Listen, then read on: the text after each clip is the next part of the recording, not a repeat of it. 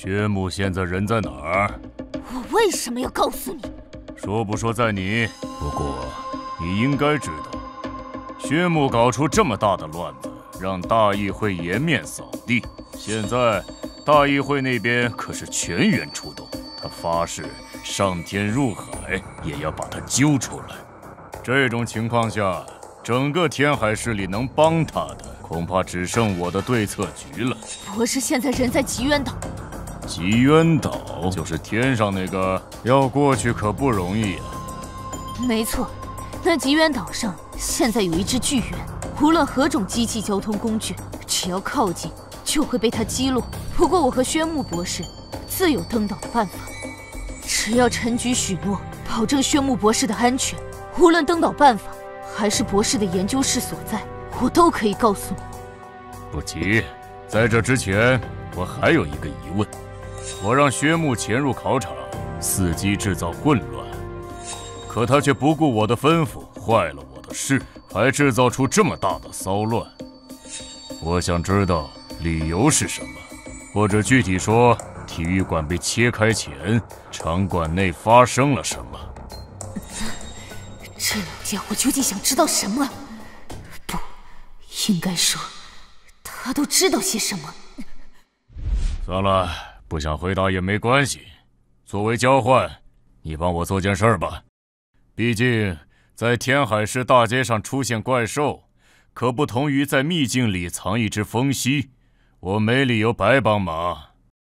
明天灵修会到这里来，我要你配合我演一出戏，把他引到极渊岛上去。为什么？哼，别装了，薛木在极渊岛上藏了十六年。都在干些什么？我清楚的很。喂，你有人要往哪个方向转啊？好好带路。报告，目前已经抵达极渊岛海域，继续前进。是。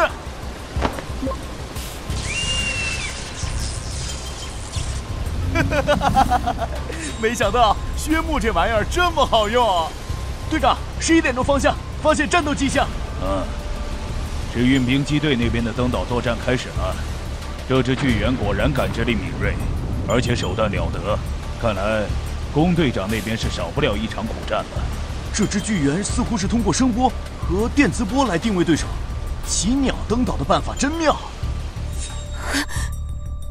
我竟然会担心那小子的安危，不可能，一定是因为那个摸下巴的古怪能力。继续带路。哼。还要再低一点，再往前面就是博士的研究室了。逐渐下降，大家集中注意力。你也太过分小心了，骑在鸟上能有什么事儿？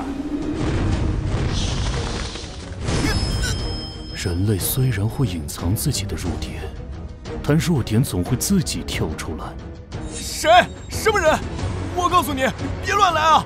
我可是天海市对策局长陈柴良的儿子。你身为人子，也知痛怕死。却为何要欺负其他动物？你是个什么东西？你从哪儿蹦出来的？是人是鬼？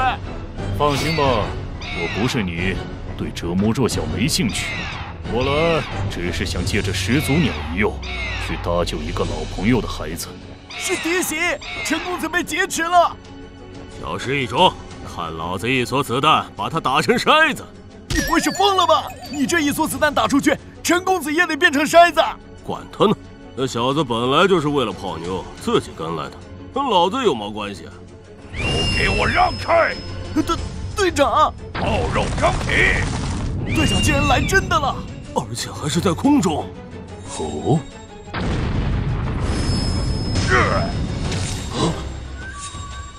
真遗憾，我是肌肉异能的觉醒者，在异能加持下，我的身体结实的像怪兽。你斩不断吧？原来如此，也并非斩不断。不过，脚下的大鸟恐怕已经无法承受我使用更大的力气了。也就是说，你无计可施了。有没有人说过你的头脑单纯的也像怪兽？难道你没听说过“射人先射马”吗？金要斩！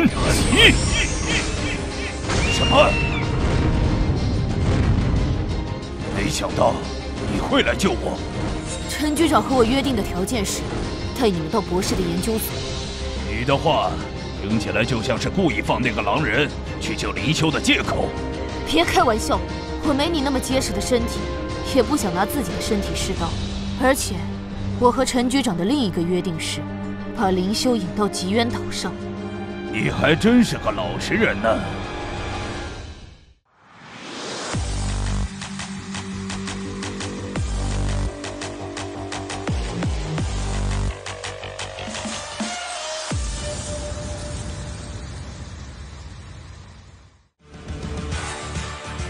网游之天下无双每周日更新。扫描这个二维码，看我如何成为怪兽大主宰。